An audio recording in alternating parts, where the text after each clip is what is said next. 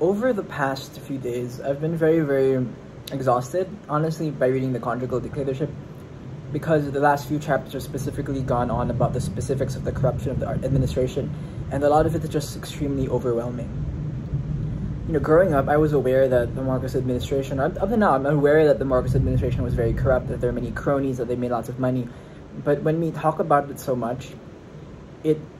we kind of think less about the specifics of it and it becomes more of an abstraction. And what I mean is that it just becomes this idea of corruption. And the book, what the book does is it goes into the specifics of it, where it goes from just an idea of the Marcos administration being corrupt to how each of the people involved in this whole scenario was exercising corruption and to what extent they were doing so. And it goes on for a very long time. It really singles out individual people and goes into depth of, of all just just all of the things that they were doing. Uh, and the specific three people at the center of it all, which the book calls the Unholy Trinity, is Ferdinand Marcos, Imelda Marcos, and Kokoy Romualdez, who was the brother of Imelda Marcos. They were the three of what uh, the author calls the Unholy Trinity that was at this core, at the center of all of the extreme corruption that was going on. Uh, and the, the fourth person in line, according to the author, is this guy named Roberto S. Benedicto who, if you kind of Google and you look, go to his Wikipedia page, you know, it'll, it'll show you all the hundreds of companies he was able to amass and own as well during the administration. Uh, so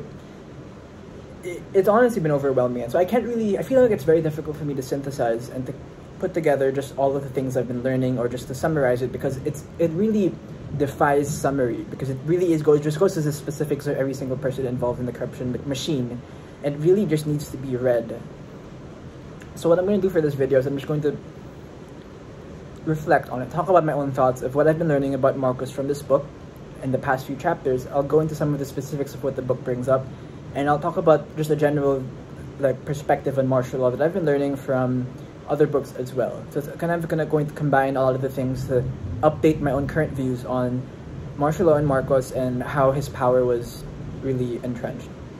and how he was able to exercise, exercise power. So the book, because so the author of the book, Primitivo Mijares, was very very close to Marcos, meaning like not necessarily like close like close friends, but maybe they were, but he was in the close circle of Marcos and he talked to him often. So he has a good sense of Marcos's inner um, perspectives and thoughts. The impression I'm getting from the book is that Marcos was someone who didn't necessarily the, the focus doesn't seem to have been wealth or money specifically, it was more about power for Ferdinand Marcos himself. For Imelda, it seemed to be more about wealth, as well as with her family, because, and we'll get into it, but her family was a big part of the, I guess, corruption machine. Where for Marcos, it seemed that the focus was less on money. He says in the book that Marcos himself lived a relatively simple life. He would eat simple food, he'd eat with his hands, he'd eat simple Ilocano cuisine. He wouldn't drink, he wouldn't smoke um, and so he, there's a bit of a contradiction in like why would he be so corrupt if he doesn't even spend the money that he used, or if he doesn't spend it necessarily, he doesn't really live, you know, a an, a, la- a lifestyle that would you you would equate to the amount of money that he was he's kind of being corrupt with. And the kind of the money that he's getting, he doesn't seem to actually in his day to day life use a lot of it. So where, where, does it come from? It seems like, according to the author, it, it's about exercising and increasing his own power and minimizing the power of his political opponents. And I, it see, I guess the thing is that a lot of the political opponents that would have gone against him or that were already critical of him, because of the nature of Philippine society, also happen to be some of the richest people or the most connected people in society. So the people who who had kind of aspirations for power in the country we're always like we're tied to these businesses, tied to these haciendas, tied to these many many industries, and Marcos wanted to minimize the ability for his political opponents to succeed him or to you know overtake him or to become leaders themselves, and so it required him to minimize the economic power of his competitors. So in a sense, you know, he would take away businesses from them give them to you know either take it take it for the government or give it to the military men or give it to his cronies and so what happened was he had a lot of these political opponents a lot of um, people who he felt were threats to his uh, power, which he really just, he, it seemed like his main motivation was to maintain his power in the country.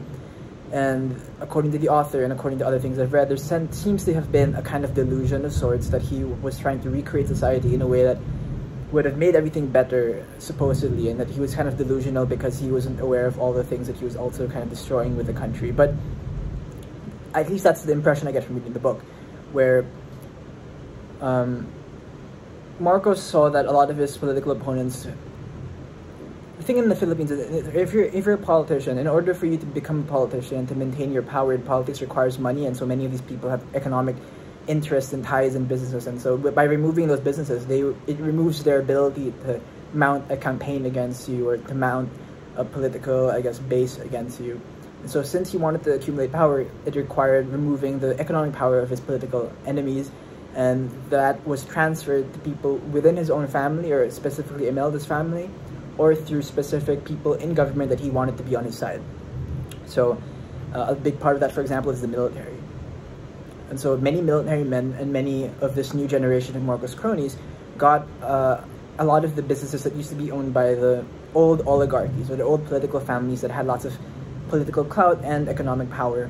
Uh, their economic power was stripped away from them and given to these new generation of people who Marcos knew he could rely on more than he could rely on the old families. And like I talked about in the past video, uh, the one of the main ones were the Lopezes, where Kokoy Romualdez, the brother of Imelda, um, you know, was able to take, uh, I think, a lot of the Lopez businesses away from them. Um, part, well, some of them was like I forgot what I think it may have been Meralco, where uh, he there was like a whole thing where he he threatened uh, he, he kind of the, the, the son of the owner of Eugenio Lopez Sr. His son was in jail, and they, they were like saying, "We will let your son out of jail if you if you let, if you sell your business to us or something." And so the guy is desperate for his son to get out of jail, and so he sells the business in this very meager, very small sum, like a thousand pesos for something that was worth, you know, tens of millions, if not hundreds of millions. Um, and the guy and the son never gets released from prison. So stuff like that. There's many stories like that where they are they threaten people in order for them to give up their businesses, and it goes to the government, it goes to these military officials, it goes to the new Marcos cronies. And the, again, the ones one of the two most powerful people at the time were Imelda Marcos and Kokoy Romualdez the impression I get from reading other books around this period is that Marcos's power was never really strongly, I guess, in place, even when he was declaring martial law. Because as we talked about in the past few videos, Marcos was actually responsible for a lot of the a lot of the things that were going on that led up to the martial law declaration, meaning all the violence in the streets and all of the things. People were generally aware, it seems, that, that some of the things that were going on in society were because of Marcos. There was not necessarily a real threat that necessitated everyone to gather together and say, I think we all need martial law. Marcos exacerbated threats that were not there, and he used that as an excuse to have martial law. And so the foundations of martial law and its establishment were very weak. So it relied, so he, because he was in a very precarious position, he really needed to get all the people who could possibly go against him or, you know, threaten his hold and power, he needed to destroy them. And so he did so economically and politically as well, and putting many of them in jail. But because of the very weak foundations of Marcos's um, establishment of martial law, he required he, the, the, he required to forge bonds with people that were mostly tied by economic interests. What that means is that he needed to kind of bribe many people in order for them to maintain allegiance to him. So he would bribe them with these businesses, he'd bribe them with money, and he needed a lot of money in order to bribe the people to maintain support for him so that he can maintain his own power. And so that's what he used the money for. He was very corrupt, and a lot of the corruption was there in order to maintain his power by maintaining his allies, you know, I guess, interest in supporting him. Three of the people in the military, for example, and the police that were very powerful that he really had to kind of make happy in order for him to feel like he was in a very secure spot was Juan Ponce Enrile, who was the head of, uh, I think, the military, head of the military, I think, and the, or he was the Secretary of Defense. There was uh, Fidel V. Ramos, who was the head of the Philippine Constabulary, which is like um, the police, I think, or it's, it's a bit complicated. And there's uh, Fabian Navarre, who was the head of Marcos's like secret, um, secret military force or secret police force or something And so these three people in the military are the same people who later on, as we know it in EDSA Revolution, tried to stage a coup against him. So, but during the time when he was trying to maintain power, he had to make all of his military um, friends happy, all his business friends happy, his new business friends, all his new, um, you know, there was just a whole structure where one of the interesting things I read from another book that described it as was like, if in other countries, if you were powerful, if you were an economic business power, you wanted the support of the government, so you would pay the government extra taxes, extra money so that they will support you. And in the Philippines case, the government was paying the businesses for the business to support the government. So it was a weird situation here. Where it was very weakly uh, tied together, and so Marcos needed a lot of money. He needed to steal lots of money in order to have people continue to support him, and because for him, he had this very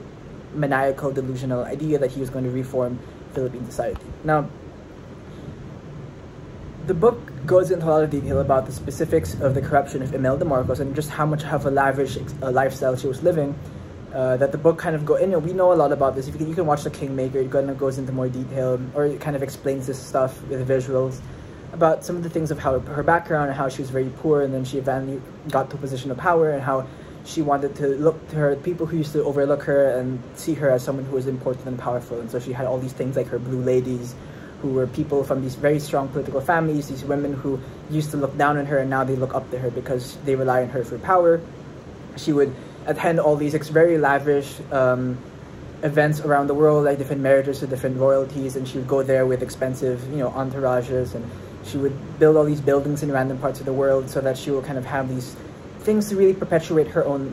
uh, sense of uh, appearance and wealth and legacy, so people will think of her as somewhat special because she grew up in a very poor environment. That's like the story of sorts.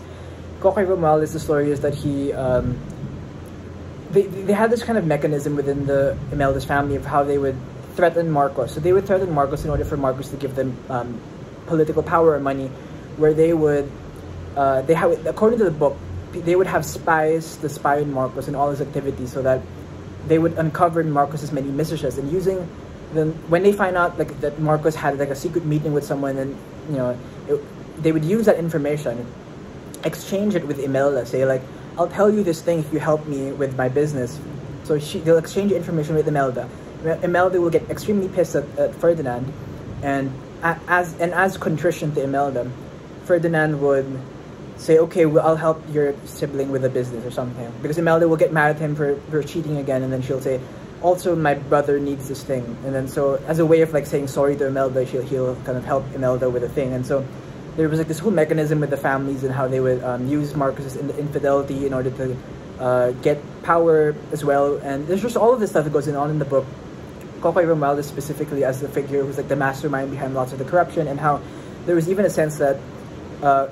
many people in the government, in the Marcos government, were already planning to succeed Marcos, or what they were already planning. What, what when when Marcos gets, you know, his dictatorship ends or whatever, how can we succeed him? And according to the author, the two main figures behind a lot of the planning, apart from Enrile Ramos and Vera had their own plots, uh, there was Imelda and Kokoy, where there was a sense that they were they were planning to have this sibling dictatorship thing, and they were planning behind the scenes of how to establish power. So Kokoy, Kokoy Romualdez became like an ambassador, for example, and he'd make all these connections around the world and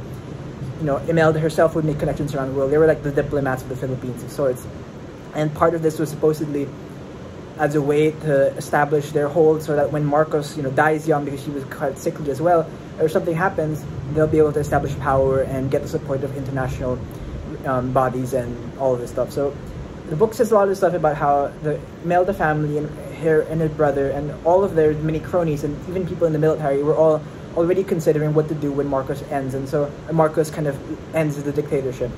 or who will succeed him. And so everyone is already planning in their own minds of what to do, and Marcos himself was kind of taken over by this very delusional idea of how he wanted to reshape society, but he was turning a blind eye or allowing for the corruption of many of his family members and his cronies because he needed their support and he needed to maintain his image and power as the number one dictator in Philippine society, even though the reality is that behind the scenes, he was also beholden to many other interests that, uh, you know, shaped how he would rule the country. Now, this, again, it's very overwhelming to read the specifics of all the corruption. If you want to know about the specifics of all the cronies, all the corruption, I'd highly recommend reading the chapters itself. Like five, six, uh, seven, eight are all about this, and it's, it's I'm sure the more more chapters in the future will be as well. But uh, that's my I guess reflection for today.